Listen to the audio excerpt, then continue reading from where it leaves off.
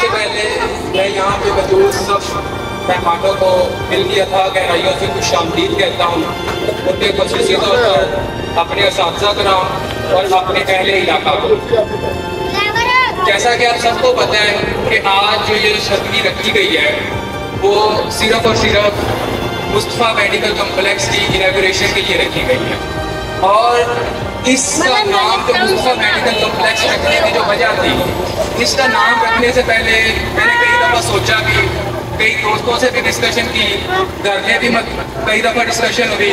उसके बाद काफ़ी ज़्यादा बात करने के बाद जो मैंने अपने माइंड में एक फैसला पहले ही सोचा हुआ था कि मैंने जो अपने क्लिनिक या अपने सेटअप का जब भी कभी नाम रखूँगा वो मैं हमेशा अपने वालद वालद के नाम से रखूँगा। और इसी वजह से इसी वजह से मैंने इसका नाम मुस्तफ़ा मेडिकल कॉम्प्लेक्स रखा। आप लोगों में इस बात का बहुत ज़्यादा इल्म होगा कि बहुत ज़्यादा ऐसे लोग होंगे जो बहुत अच्छे होंगे।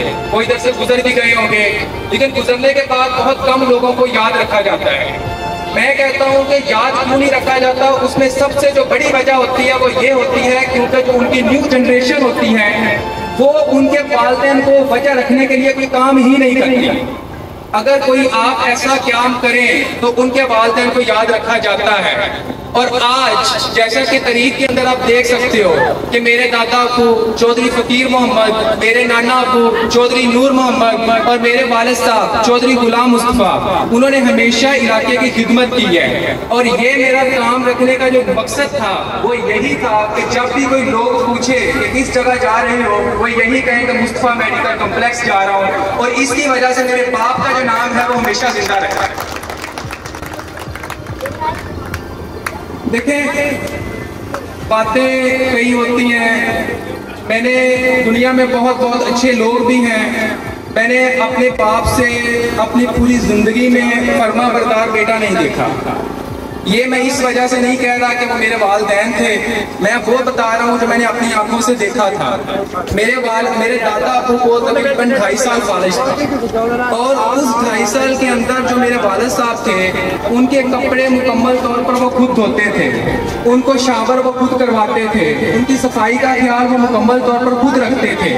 और मुकम्मल तौर पर इवन तक के मैं जब उनको कभी देखता भी था कि रात गुजर जाती थी और मेरा बालक जो था वो सोता नहीं था।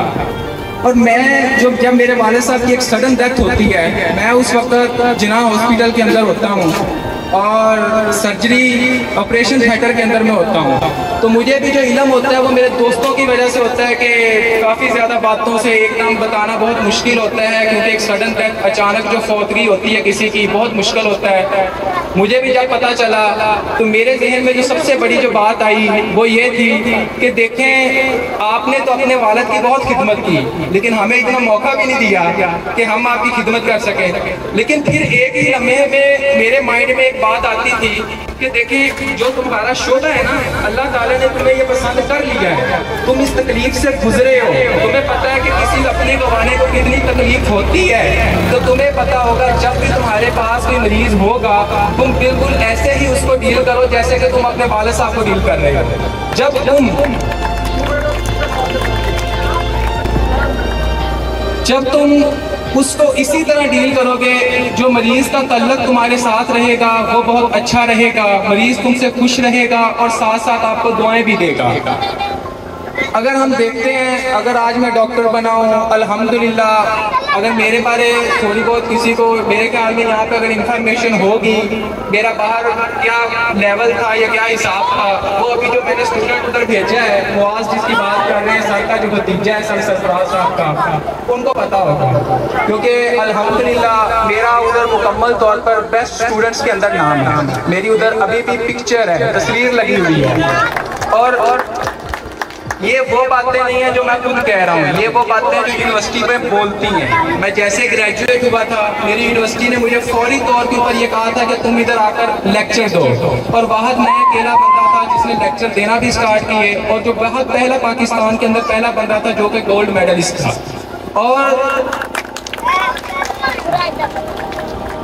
मैं ये नहीं कहता कि जो मेरी ये तरक्की है, इसमें मेरे अकेले का सब कुछ है। मैं बल्कि ये कहता हूँ, जब भी इंसान किसी तरक्की के ऊपर पहुँचता है ना, ये हो ही नहीं सकता कि उस अकेले का हर किसी का हाथ होता है। थोड़ा थोड़ा किसी ना किसी तरह वो मोहल्ले के लोग होते हैं, कुछ ख़ानदान के लोग होते हैं। कुछ अच्छे इस मिल जाते हैं। और मैं इस मामले में बहुत अपने आप को लकी कहता हूँ। ये अल्लाह ताला का मेरे ऊपर बहुत ज़्यादा मैं कहता हूँ कि शुक्र है कि अल्लाह ताला ने मुझे एक ऐसा बाप दिया था जिसका हमेशा मेरे साथ बहुत प्यार वाला तल्लक था। एक ऐसी माँ दी हुई है कि जो मुझसे बहुत ज़्यादा प्यार करती है। ऐसे भाई हैं कि वो मुझसे इतना ज़्यादा प्यार करते हैं कि मैं अगर उनको ये कह दूँ कि भाई ये करना है तो सारे कहते हैं जी, ये करना है तो मैं और उसके बाद ऐसे रिश्तेदार हैं, ऐसे इलाके वाले हैं। आप अगर वो यही, ये शो करता है कि आप लोग सारे इधर मौजूद हो। ये जो इधर मौजूद है, ये आपकी मोहब्बत को ही शो कर रहा है। तो मैं जो मर्ज़ी कर दूँ, आपकी ये मोहब्बत से बढ़कर कुछ भी नहीं हो सकता।